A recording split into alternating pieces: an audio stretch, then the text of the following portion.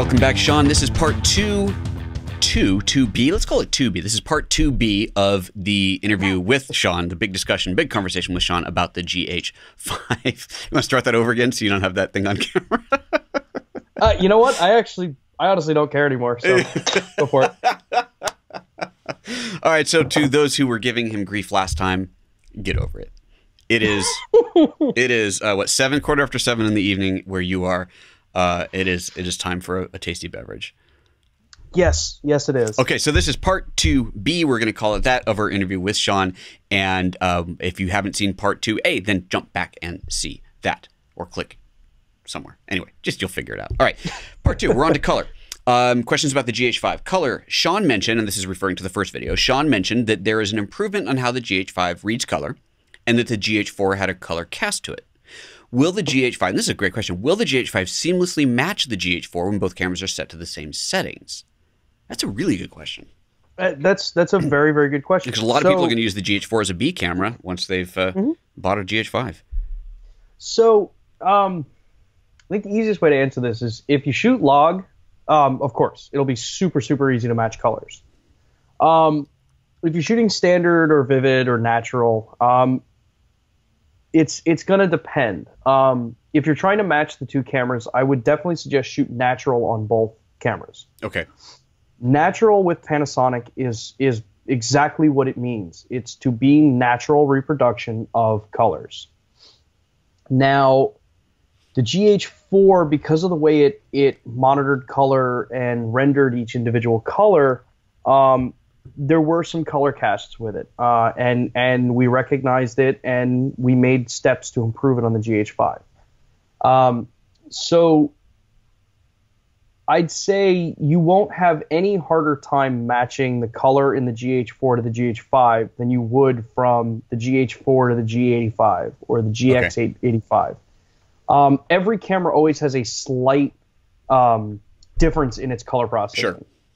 The reason why I brought it up um, is that the GH5 actually goes to a much, much different um, process to determine pixel color.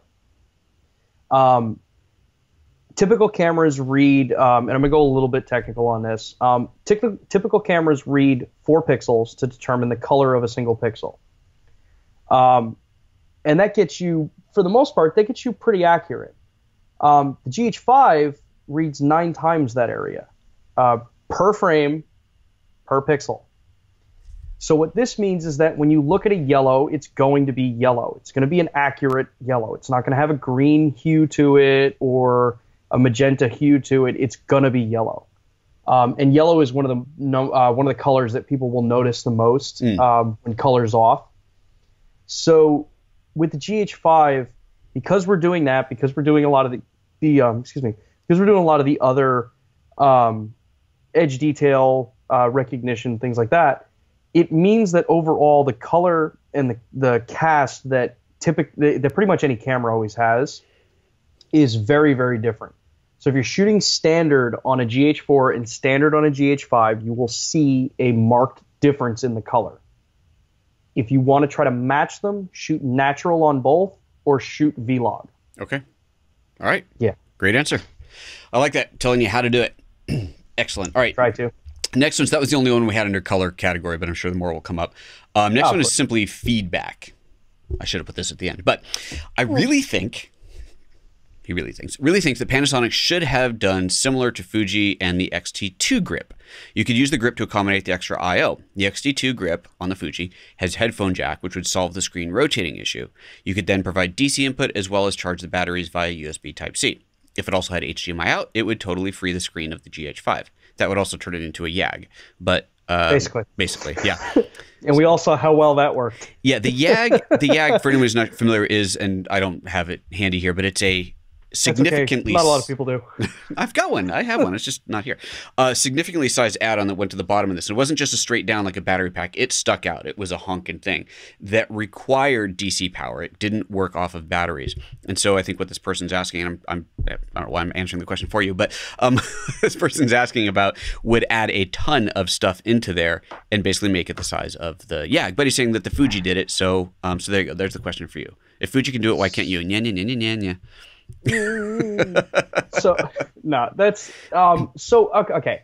It's it's an incredibly valid question, and it's it's something that honestly, um, a number of us in the audi- in the uh, office really did ask. We asked a lot about like so with the the battery grip.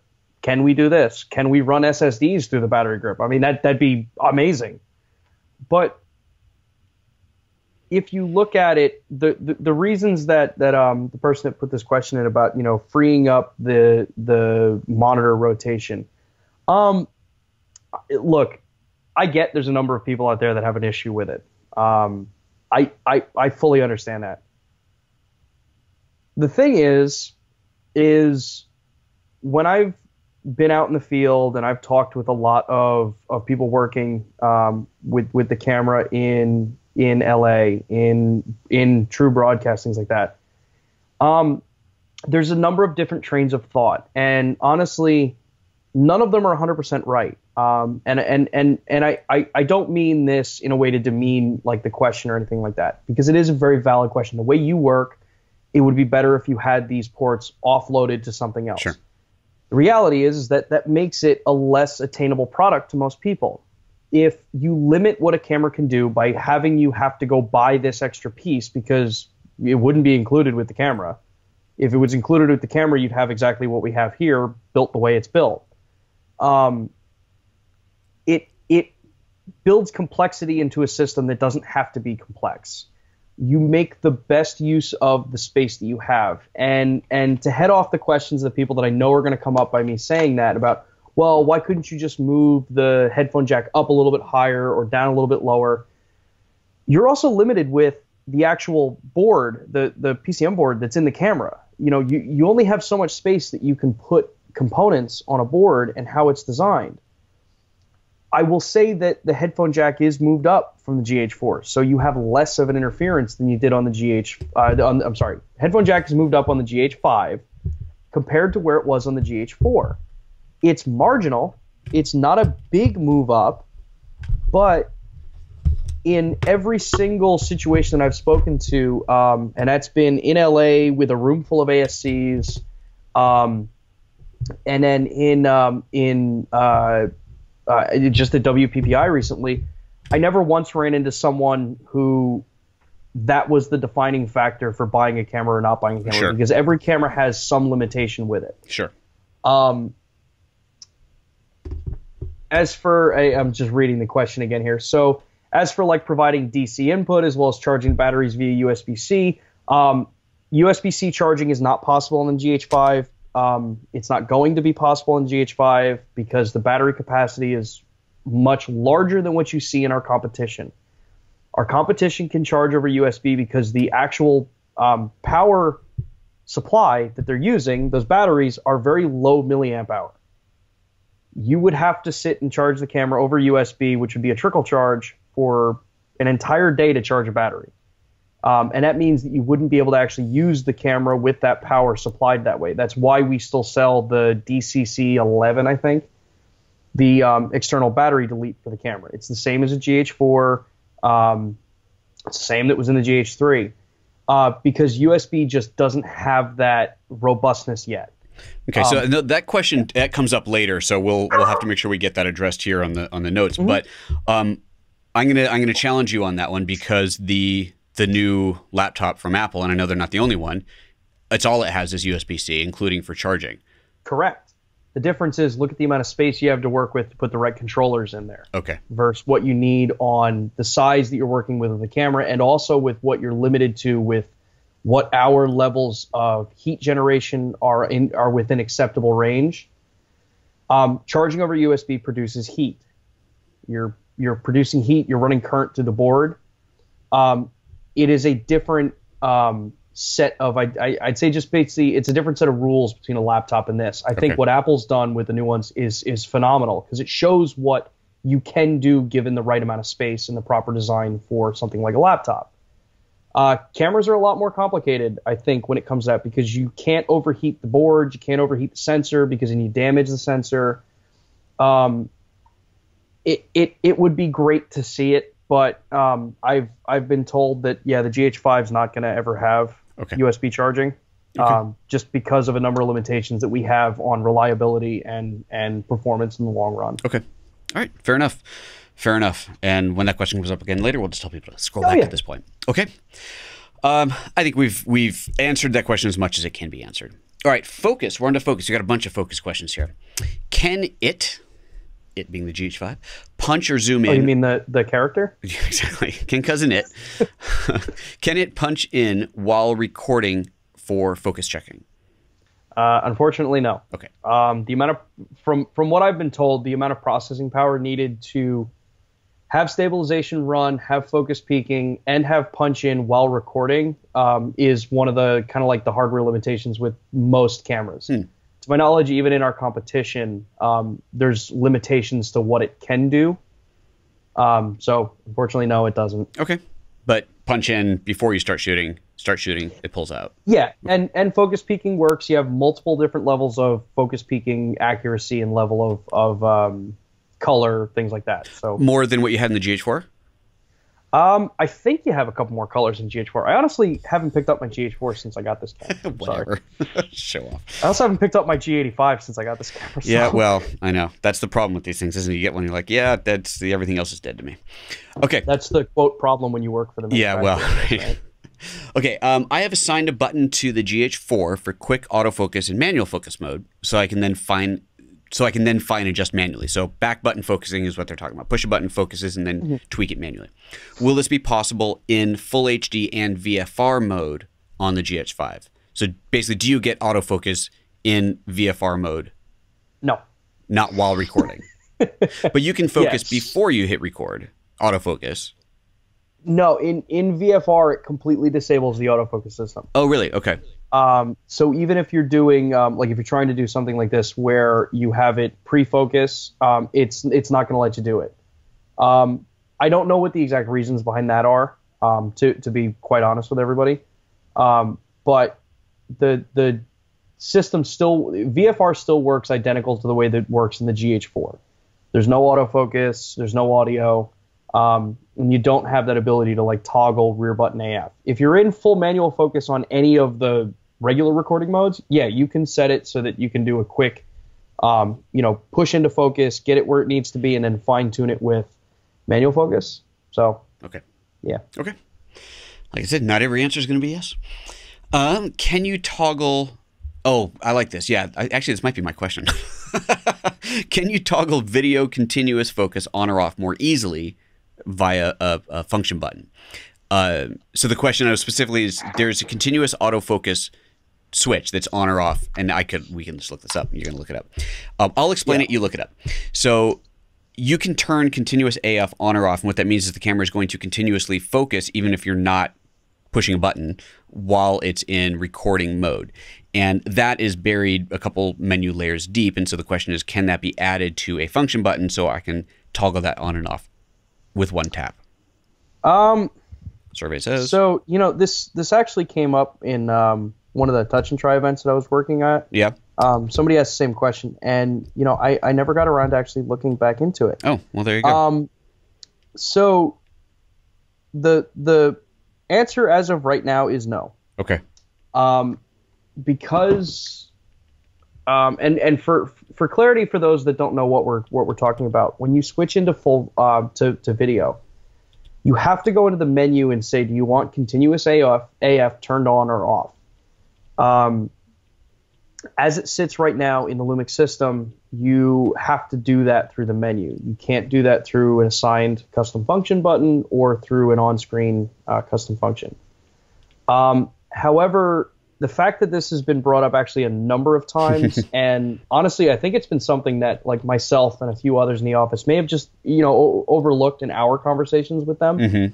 Um, it's definitely something that that we will bring up um, harder with the the team in Japan to um, at least take a look at, see if that's something that they can put into a function button. Because I mean, we have stuff like being able to toggle VFR on and off, right? Um, or toggle waveforms on and off. So uh, I I don't necessarily see why it can't be done, um, but I can't make promises as to when or if it would ever be done. Um, but um, you guys have my word that I'll uh, push that with the uh, our our engineers to see about what we can do on that one. Okay. Cool. I'm trying to find Oh, it's okay. I've been trying to find the the commands in here, um, but I see it's now it's a, a, layer deep to get to where you can program the buttons. Function button set. Now I found it. Program yes. to record mode. So this is what we're looking for. So, um, okay. But you're you're confident it's not that. Whoa, there's a lot of new stuff in here. Uh, oh yeah. Wow. There's there's yeah. 20 customizable custom function buttons now. Wow. Seriously? Jesus. Because you because because you have to count the four way directional pad on the back and the four way uh, joystick. Wow. Slick. Yeah. That's cool. Man, that really makes it. You you program this thing to be your camera, and baby, that is your camera. But hey, oh oh, and can, then you can save the settings. Then you can save the settings. Else. I love it. God, that is just fantastic. Okay, um, let's see. Where are we? Can you zoom in during playback? So punch in during playback in video mode to check your focus. Um, I don't believe you can, um, and I think that does just come down to processing power. I'm gonna yeah. Um, no, so yeah, okay. there's there's no um, punch in during during video playback when you're actually playing the footage back. Um, you can't punch in and and watch a cropped version of it. Okay. Um, and I, I, that just comes down to processing. Yeah, power. that's that's fair. Okay. Can you control speed between focus touch. Oh, right. Okay. Can you speed control speed between focus touch for effectively doing focus pulls? Meaning, when you right now when you you have tap to focus on the screen, you touch on the screen. I touch on Sean's face, touch on the background. It focuses on that, and right now it focuses as quickly as it can, which is pretty damn fast. Can you control that to make it slower so that you could effectively do a focus pull by tapping on one point, hitting record, tapping on another point, and having it slowly rack focus to that position? So, yes and no. Um, in just regular recording mode, no. The reason why I say yes and no is that if you use the focus transition mode that the camera has now, uh, which is pre-programmed uh, focus pull locations, yes, you can you can change it out. You have a number of steps right. in focus speed uh, uh, for that. Um, if you're just tapping the back of the screen to pick your focus, no, you don't have control over it, and that's actually why um, that's why focus transition was added um, because typically if you're going to do a, a focus pull or do something where you need it to be a set speed or you need it to be a set um, function it's usually because you're trying to do it as a repeated or, or a repeatable mm-hmm. motion. Um, so in regular recording no. In focus transition yes. Which is what it's for in focus exactly. transition mode. Okay. All right can you combine rack focus, which is this focus transition? I think that's what he's asking, with time lapse. Ooh, well, that's cool. So this one gets even a little more uh, a little more fun because um, you can't um, basically because when you turn if if if if you're doing time lapse um, where you're doing it through the dial, where you actually set out where you're capturing stills with the RAWs and JPEG. Um, you're not recording video, you're recording stills. It's a function of stills. Right. The camera happens to be able to output in a time lapse video. Right. That's at the end of the time lapse. It says, "Do you want to make a video from this? Yes or no?" exactly. Go. If you're using the other faux way to do time lapse, which is through VFR, you don't have autofocus in that, so you can't do focus transition. Uh-huh. Um, the only way I know that you can do a uh, focus pull with uh, time lapse capability of pretty much any camera is if you use something like the Aputure DEC system. Uh, the the it's a wireless controlled um, four thirds or micro four thirds to like EOS mount or something like that, because you're taking the autofocusing out of the rest of the system. Oh, um, oh, I see.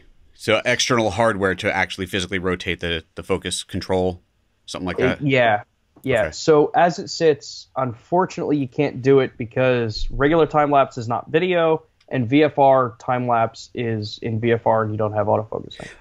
What is the slowest, longest focus pull that you can do? Do you know offhand? Um, I mean, obviously, it's going to depend on the distance between A to B, but yeah. So I mean, like you can go um, kind of like how we have like with our burst rate uh, shooting. You have the ability to go SH, H, M, L, and SL. okay, So SL would be like super super slow. That's like a snail's pace. L is really low. Sure. M is kind of like what we suggest a lot of people start with. Do your first shot at M, see how it works. Mhm. H and SH are really really fast. SH is basically snap to point. okay, So I mean, you literally are snapping from one point to another, Sure. no matter where it is, whether it's at the far extent. so that's super slow. Do you have an idea? Like, I mean, if focusing this distance, is it a second? Is it half a minute? Like, what type of? Um, well, that's going to depend on on like what you set. Yeah. So if I set this, um, I'm setting one up right now. Wh- where is it? I'll pull it up on the menu here. So under the main, uh, the top uh, video mode. So when you first go into video, Mhm. You'll see that setting there for focus transition. It's on the top of page two. Top of page two. All right. Focus transition. It says focus transition. So if you go in and you set bol- uh, and you go SL, which is super slow. Focus transition record. So focus transition speed will be um, the speed that you're you're uh, going to record at. Right. and you go super slow and let's see i just set one up here so i'm recording uh